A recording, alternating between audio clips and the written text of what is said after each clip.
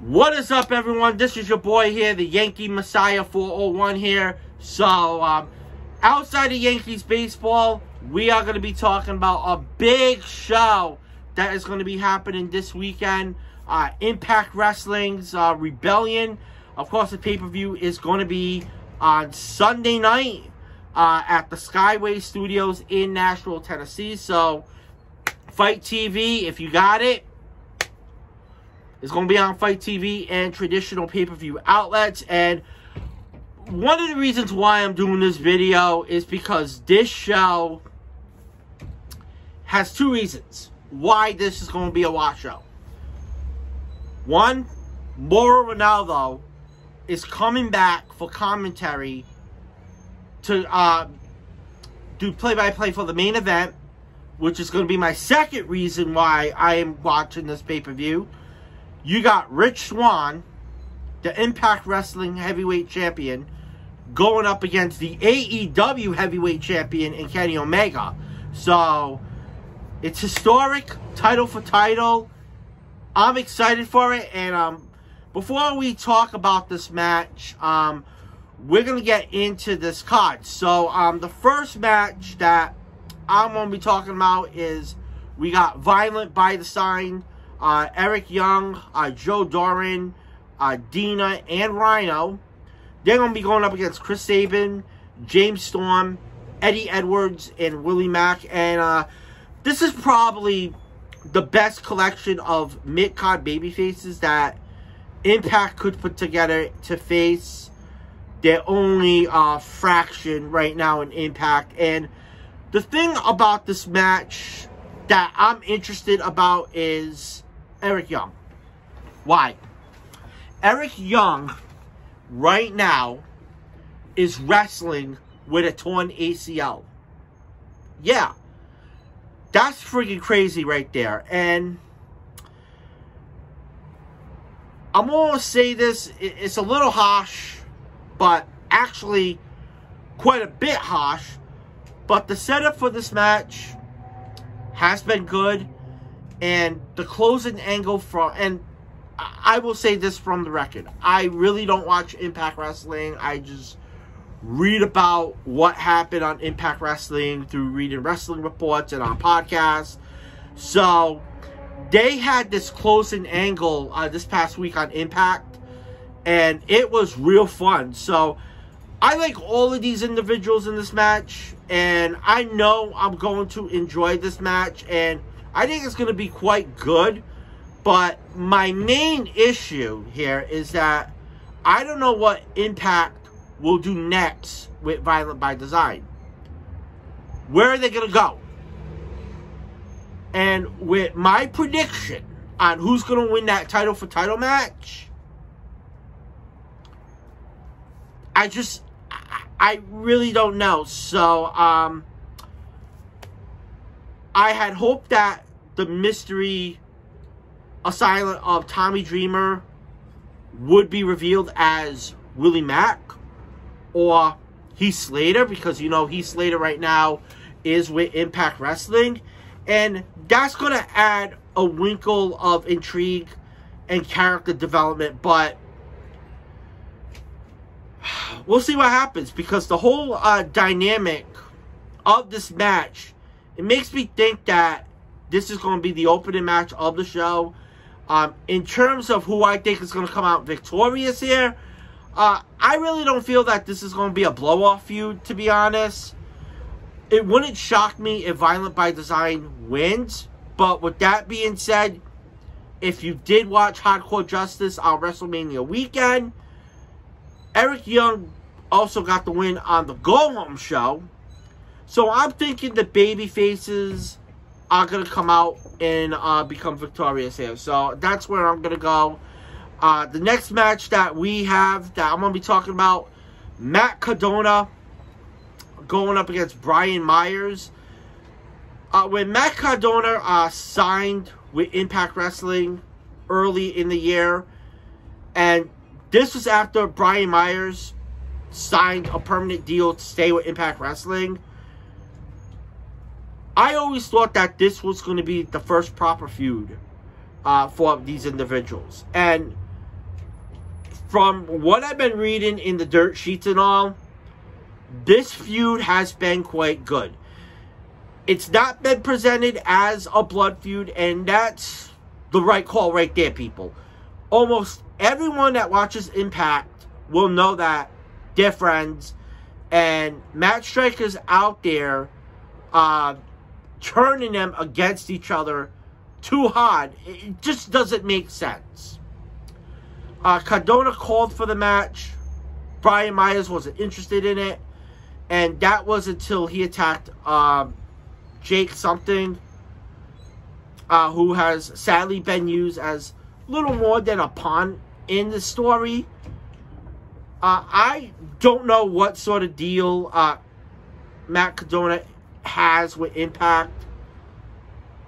This is a tough match to call. I mean, Matt Cardona, that guy could basically leave Impact Wrestling and go to another wrestling promotion. Ring of Honor. Uh, he's already been in AEW.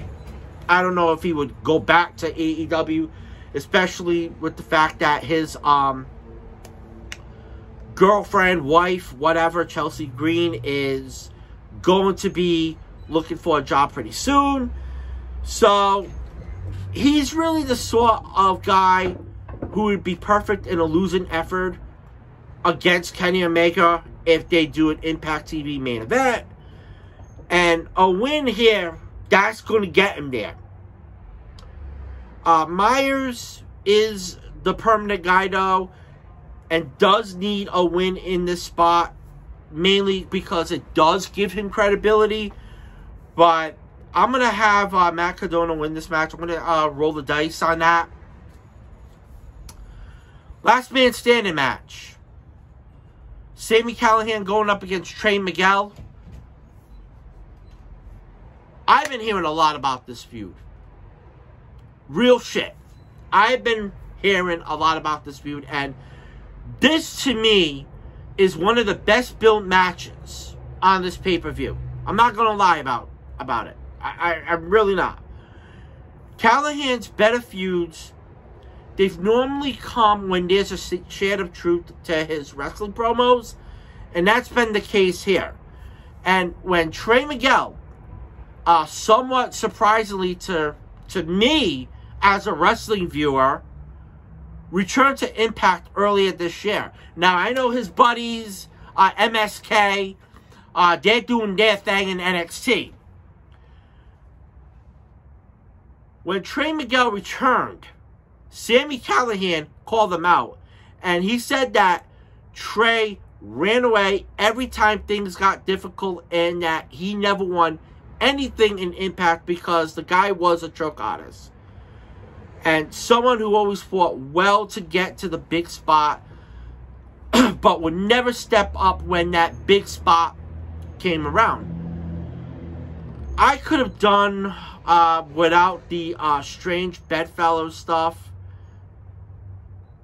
but all in all, this feud has been so great. Portraying Sami Callihan as Tommy Dreamer's uh, mystery assailant, uh, it's really done to give Trey Miguel a chance in the main event. And it was a great king to set this match up.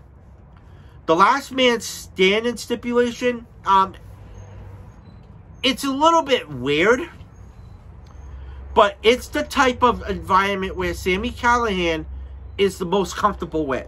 So this is going to be a good match. And whatever its Trey's remains to be seen. And I feel there is some expectation, on my part at least, for him to have a good showing.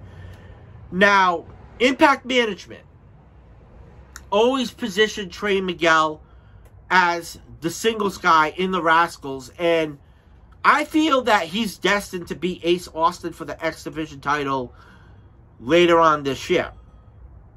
Given that this feels like the blow off to this feud,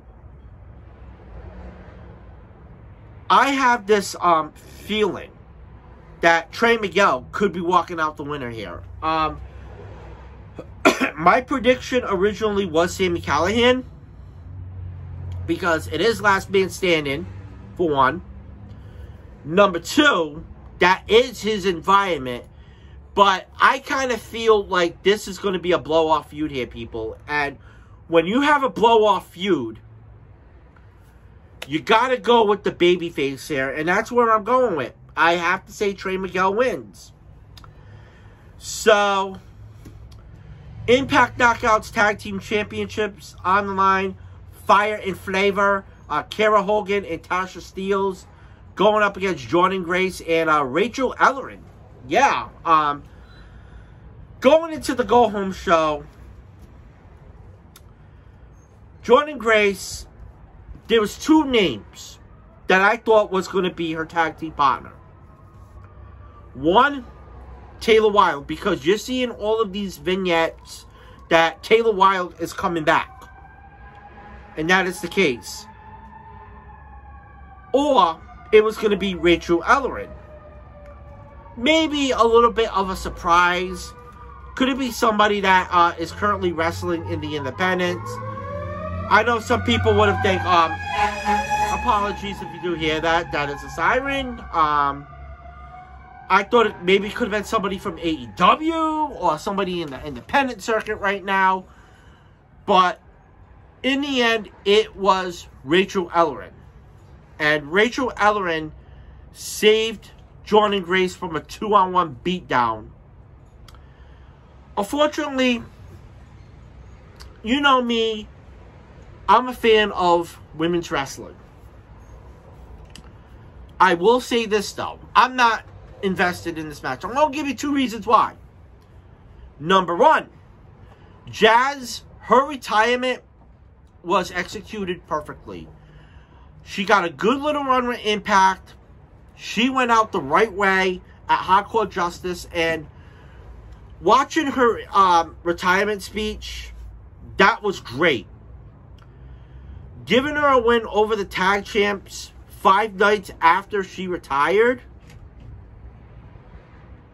however, was not the one. Having Jordynne Grace in this match, it makes sense and they could have done it in a variety of other ways, which would have utilized Jazz's retirement in a better way. My second problem with this match is that the tag team division, when it comes to the women's side of things, they have been, uh, I have to say, a, a little bit of a downgrade. Why? Because I really don't feel that there is a tag team division in Impact on the women's side of things. You split up. The only team that makes sense. Havok and Navarro. With the latter leaving the company. There is literally no one else at the moment that is going to challenge uh, Tasha Steelz and Kiera Hogan. So, I gotta say that Jordynne Grace and Rachel Ellen win, and that is the only real. Excuse me. That is the only direction that they go in, and I'm not sure it's the one, the right one, because I think what Impact's doing, Impact they're planting the seeds for Jordynne Grace to turn heel. But I fear right now the only option out there is let's put the titles on uh, Jordynne Grace and Rachel Ellen and see where they go from there. So that's where my uh, prediction is going to go with this match. Impact X Division Championship on the line. Uh, Ace Austin going up against TJP and Josh Alexander. Chris uh, Chris Bey, uh, his injury is a damn shame that he went down. It is what it is.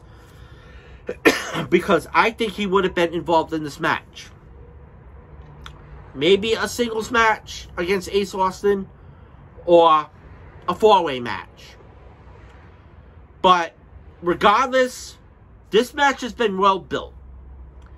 even if I always preferred some combination of these guys in singles competition or a triple threat match, on paper, I have to say that this is going to be the second best match of the night. This could surprise and be the best match of the night because the X Division, once again, has been anointed the work rate division of Impact Wrestling. I feel like the X Division is back. And you look at the whole veritables here. TJP, the guy's been awesome. Ace Austin, that guy has been awesome. Josh Alexander, going from a tag team wrestler, you know, being part of the North with Ethan Page. That was one of the best tag teams that Impact Wrestling had, in my opinion. Once Ethan Page left and went to AEW, I felt like Josh Alexander really cemented himself as the best singles wrestler in that company right now. They've all had wins over each other in some entertaining matches on TV. It gives a little nice story that they each got that person's number. But as far as I see it, Josh Alexander, as much as I love to see that dude win that match, I think they're going to protect him in this match. I really do. But what makes sense here is that Ace Austin is going to win this match. I see TJP taking the fall here. That is going to be the most likely scenario. So, Ace Austin is going to win this match. And um, we're going to move on uh, to the Impact Knockouts Championship match. All right, I'm back here. So um, when your throat is all raspy and um, you're coughing a lot, I had to get a drink of some Poland Spring water here. I'm good to go. Ready to talk about this uh, Knockout Championship match here between Deonna Purrazzo and Tenille Dashwood you probably can't blame this on what Kylie Rae and this whole situation that happened six months ago. But I'm going to have to be giving some constructive criticism here to uh, Kylie Rae. The stunt that she pulled six months ago, and since then, that Knockouts title picture, I'll, I'll say it. The whole division right now is flat. It sucks. When you have Tenille Dashwood and her gimmick, it's just ice cold. At least in my opinion. And on the other side, within a year of joining Impact Wrestling as this uh, arrogant brash heel who's been fantastic, Deonna Purrazzo, she has migrated to becoming a babyface. And I'll admit to not liking the corny, cowardly, hiding behind R.D. Evans. But this doesn't feel like the best use of her. And it's indecisive, in my opinion. Because Impact Wrestling is running out of ideas.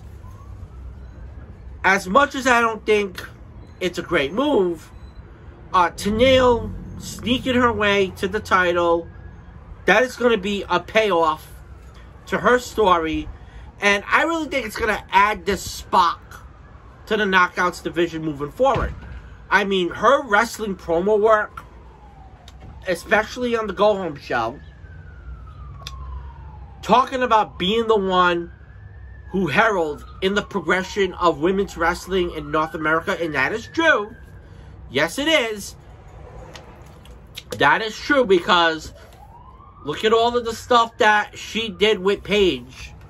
The first ever NXT TakeOver show.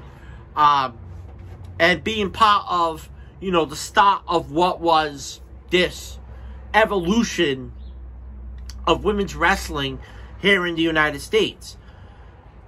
To me, with her winning and saying that, it's very good and it sets up a title win perfectly. So, honestly, this match it is going to be the worst match of the night, or I could say the weakest match of the night.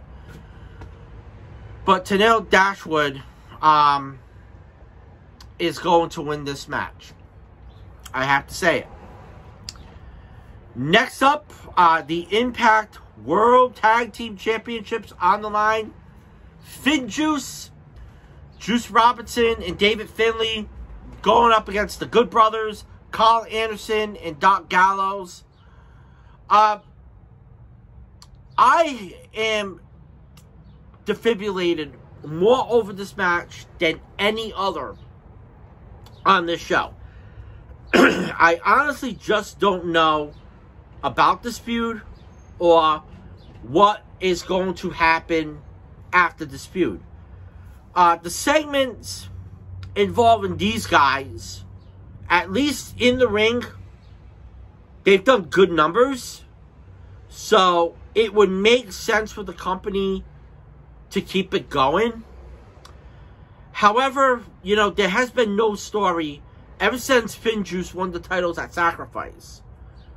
Or there wasn't until the Go Home show. Sure, these are guys from New Japan Pro Wrestling.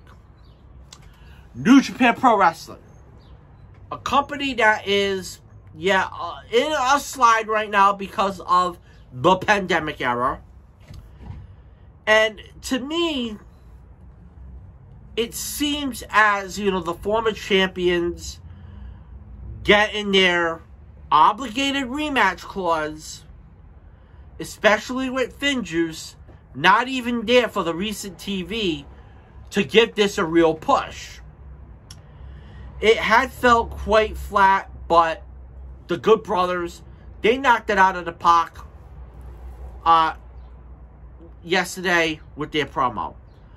You know, and then wrapping up an easy win over Decay before explaining that they had been distracted before and they had rested. But FinJuice defeating them had them snap out of it. Uh, losing the belts had lit a fire under them and meant the only thing that they cared about were those belts. That's enough to get me back in the game. And given how decent the first match was, I have reasonably high expectations for this match. I really do.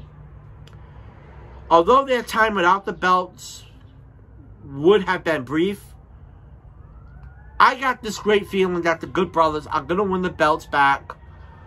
And it's going to lead to this really awesome veritable that I'm about to share right now because man, there is a lot of stuff that I'm going to get to here. So let me get another drink of water.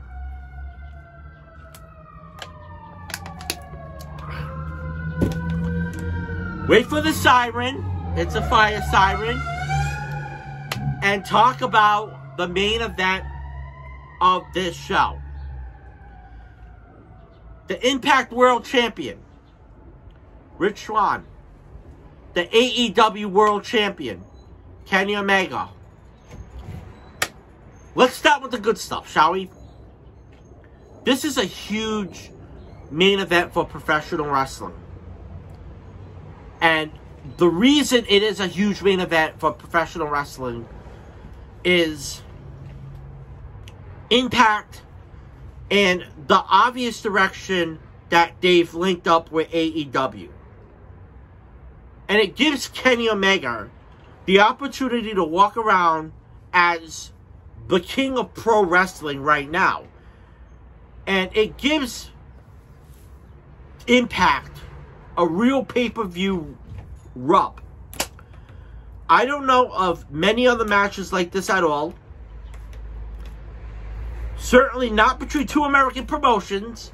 I mean, you're probably going to have to go all the way back in the 80s during the uh, the second gold age of the pro wrestling era. But this is historically significant too. This is a big deal match, and it should be excellent. Bell to bell.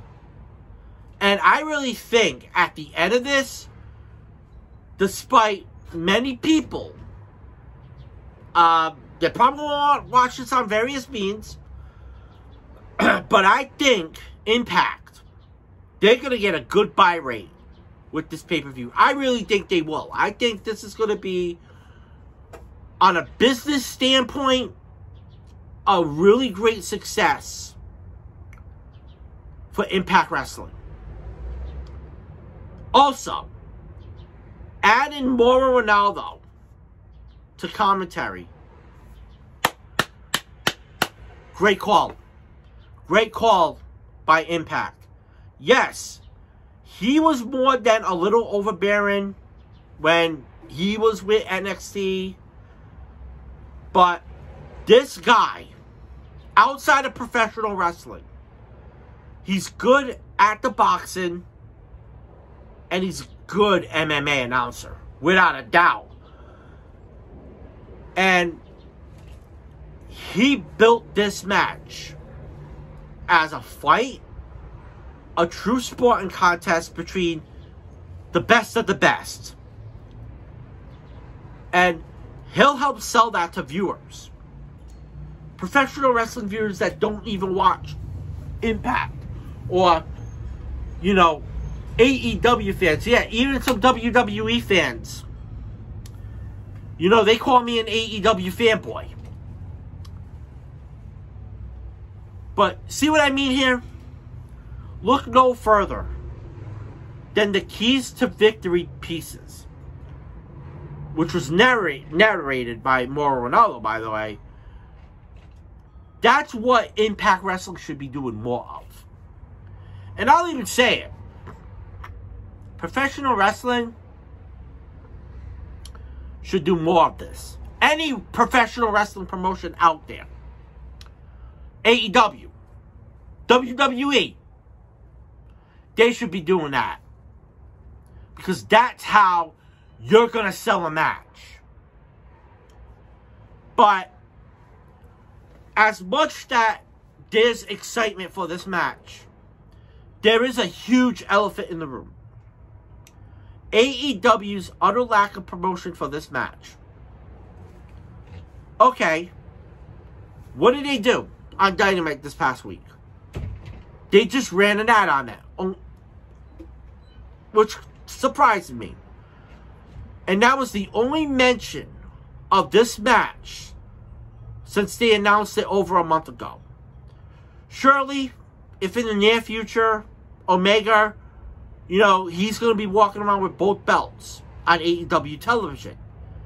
You have to advertise what he's doing. Even if that was only in passing through the commentary team or the odd uh, vignette, AEW's decision not to can't be because they fear impact.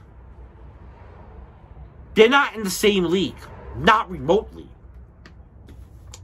I don't see what harm they're doing to their viewership or fan base by giving Rebellion the odd mention. But whatever it is, it seems incredibly remiss. And the most frustrating element of what has been a decent build. Yeah, I'll even say it. Don Callis, man. His promo was great.